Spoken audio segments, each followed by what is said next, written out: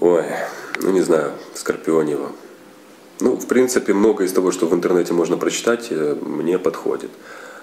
А, Когда читал какие-то негативные стороны этого зодиака, потом старался их как-то компенсировать.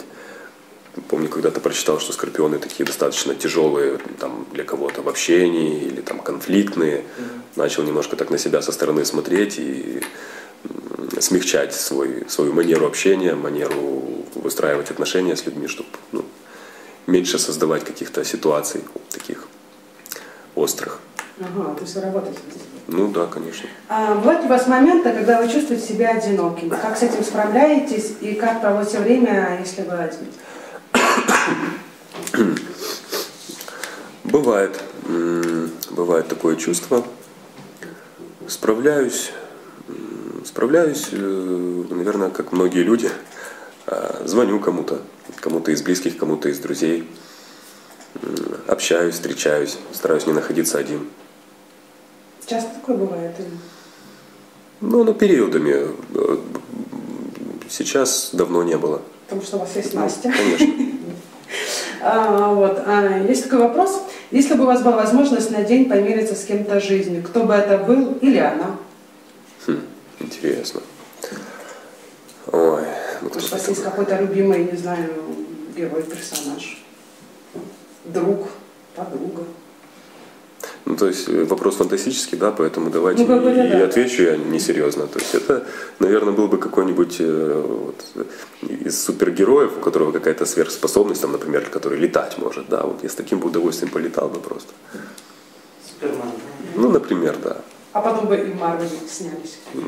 с удовольствием. А, Вы очень популярны в соцсетях, есть такой вопрос в Инстаграм, в Фейсбуке, у вас тысячи подписчиков. Сколько времени в день занимают вас соцсети, и люди интересуются, ведете ли вы сами свои страницы?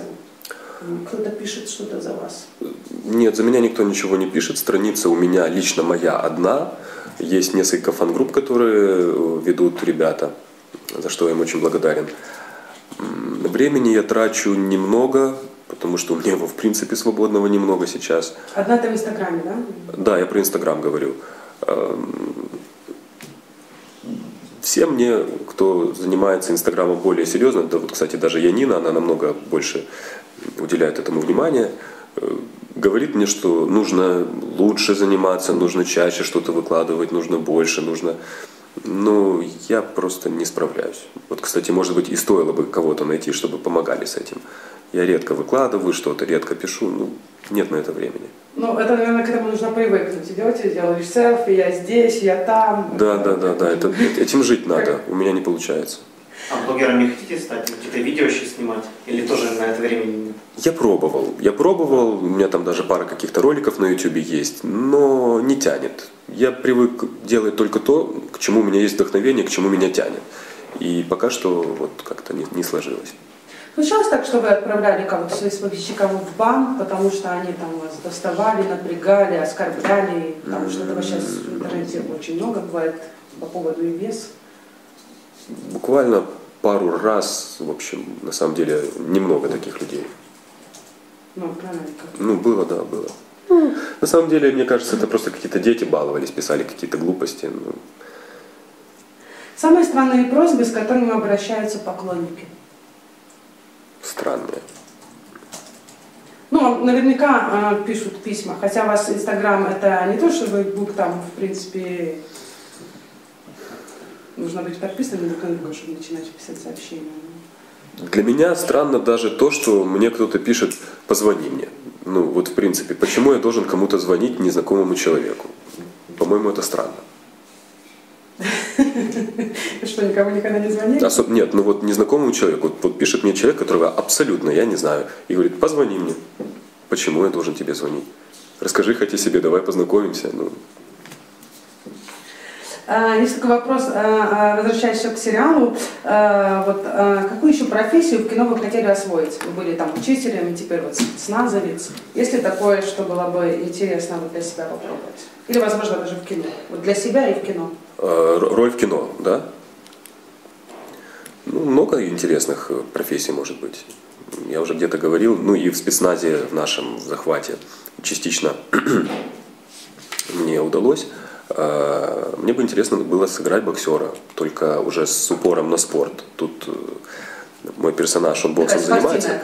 Да, да, мне бы интересно было бы сыграть э, роль какого-то вот либо боксера, либо, может быть, э, просто, просто спортсмена, который занимается вот единоборствами, вот что-то связанное с этим. А, Кстати, не могу не спросить, как я могла забыть про своего любимого Станислава Баклана. Спросите, я всех спрашиваю, потому что его очень обожаю, этого актера. Как вам игралось под его руководством? Он ваш батя в сериале, да? Скажите, Прекрасно игралась, я, мы с не ним боялись? Потому что глыба такая.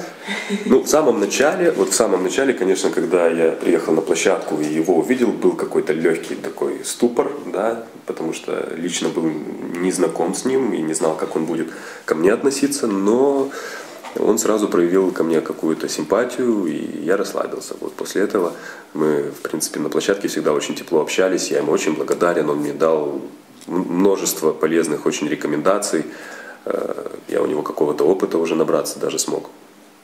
И вообще, конечно, этот человек, который создавал на площадке э, а- позитивную атмосферу, потому что его шутки, это, ну, э, все просто за животы держались.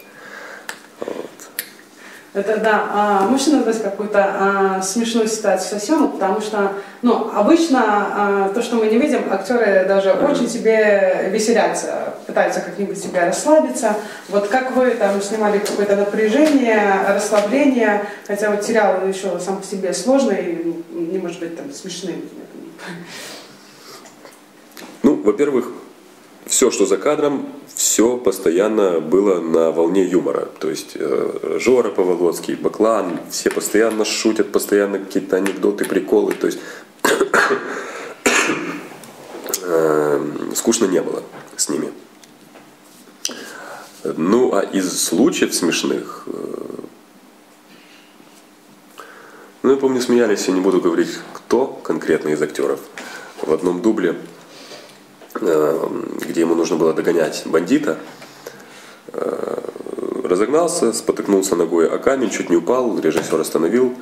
Все, дубль сначала. Второй дубль, то же самое, той же ногой, за тот же камень он цепляется, точно так же чуть не падает. Посмеялись. Карма. Я знаю, что Станислава Владимировича день рождения вы отмечали на площадке, а ваш э, день рождения тоже был на площадке, тогда еще не было съемок. День рождения мой, был мой день- рождения не сов- не совпал с э, съемкой в захвате. Да, был в промежутках.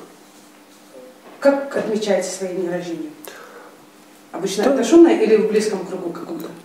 По-разному. В этом году очень банально собрал просто самых близких друзей в Вы небольшой. любите свой день рождения? Потому что многие бывают от него так открещиваются. Сейчас уже люблю. Когда-то не очень хорошо к этому относился. А что полюбили?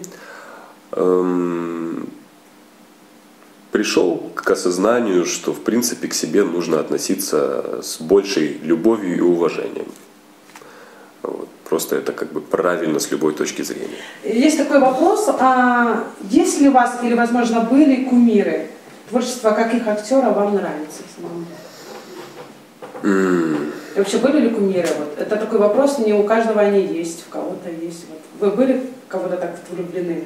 Музыканты, возможно, там, актеров? Конечно, мне много актеров нравится. Перечислять можно долго.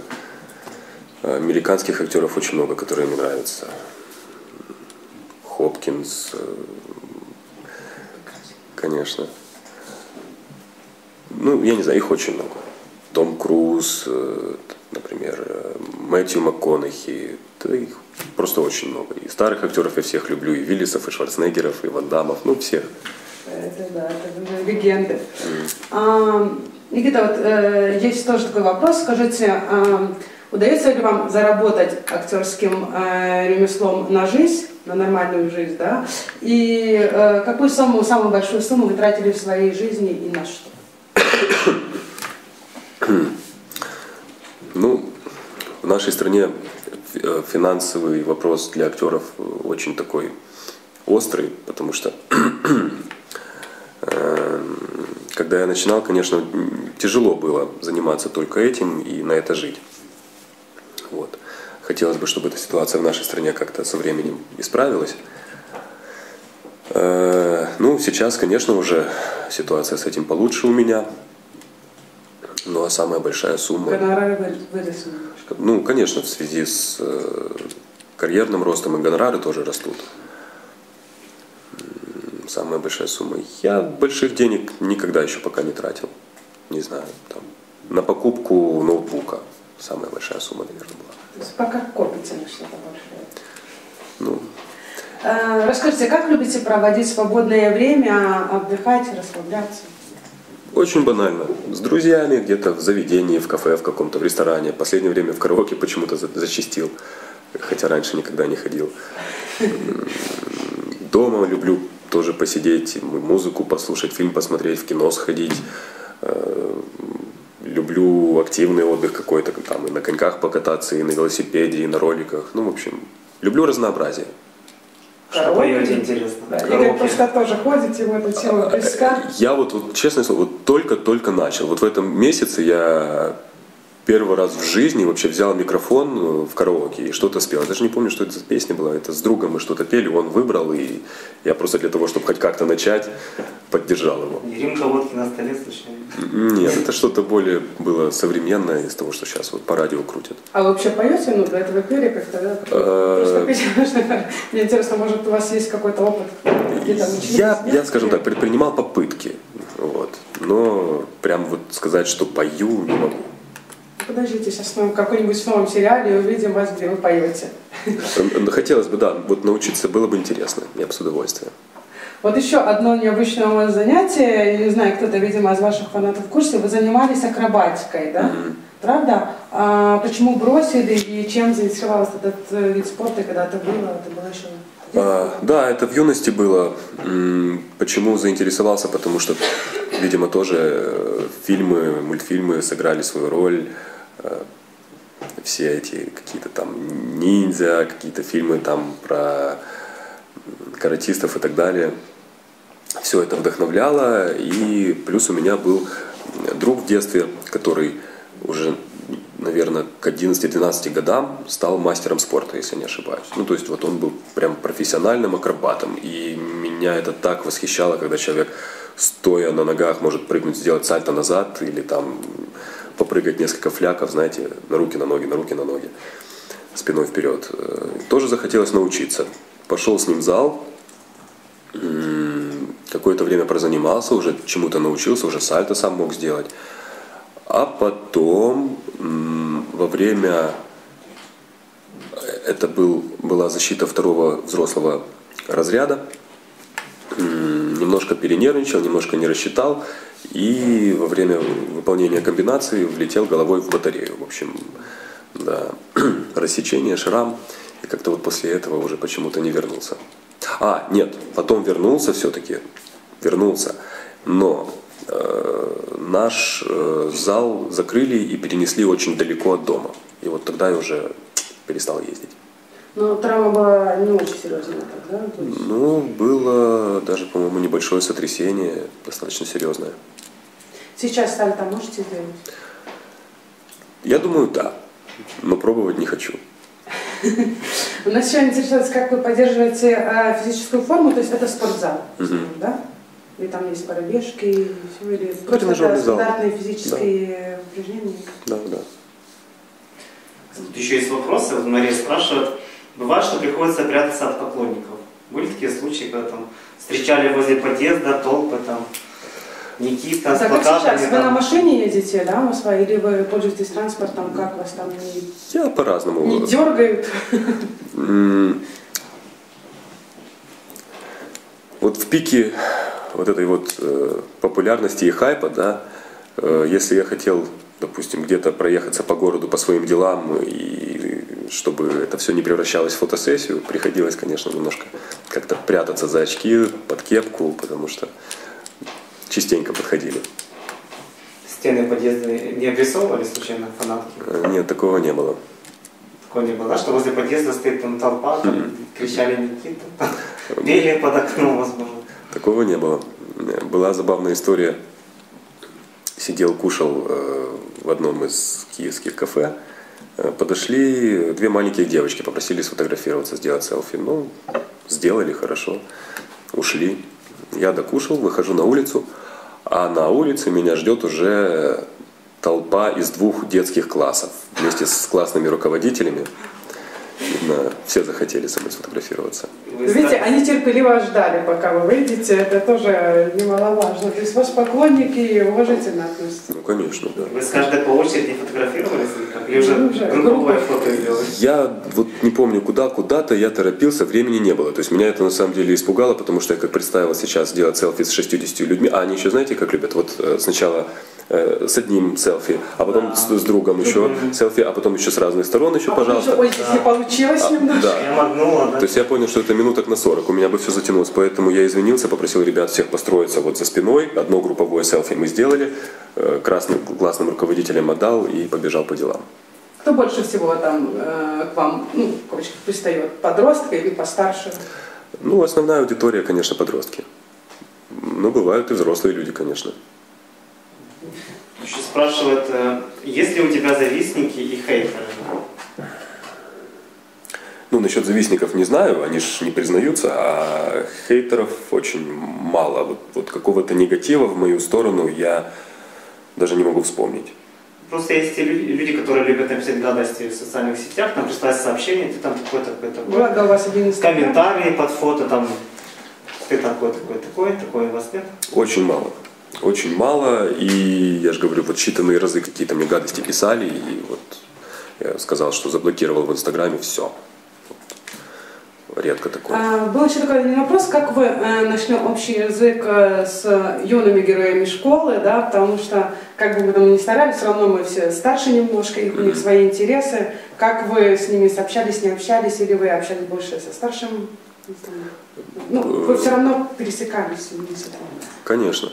Общались э, в хороших отношениях со всеми, все прекрасные ребята. Ну, больше, конечно, общался со старшими актерами.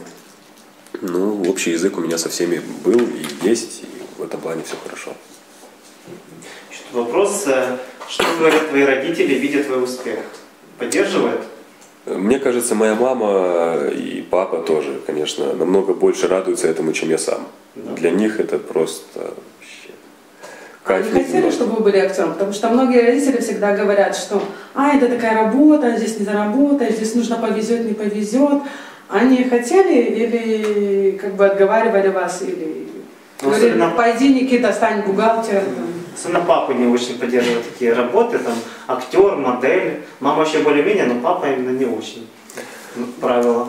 У меня получилась вот та самая история, когда маму надо было слушать. Мама хотела, чтобы я стал актером. И она хотела и даже уговаривала, что после школы я по- поступил на актерский. Но я ни в какую. Я в Украине перспектив э, для себя не видел. Считал, что это вообще никуда не годится. и Нет никакого в этом смысла. В общем, что угодно, только не это.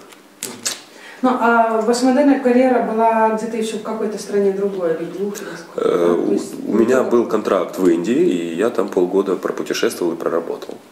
То есть там можно было заработать деньги в отличие от Украины? Ну, хотя бы какие-то.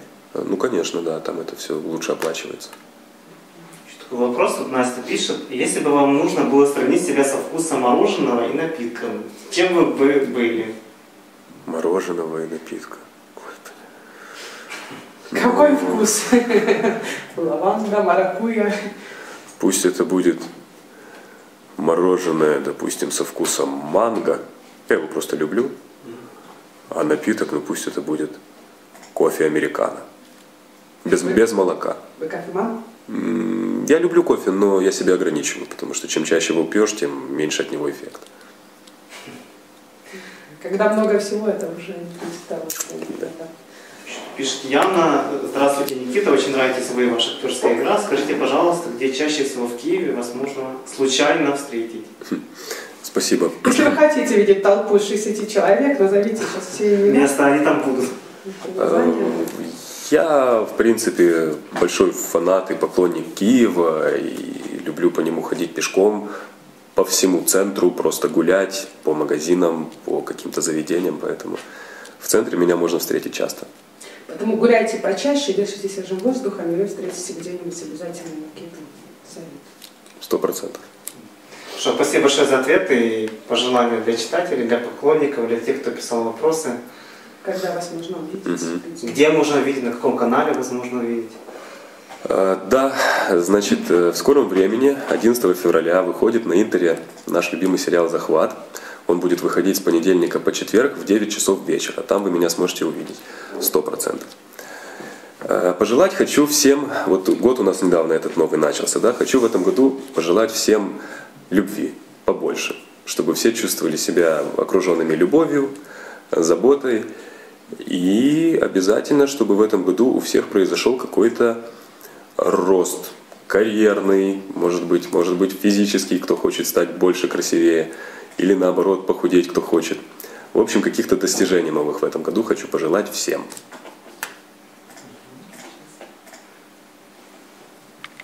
Спасибо. Все? Все? Да. Спасибо большое. Спасибо большое. Спасибо большое. Спасибо большое.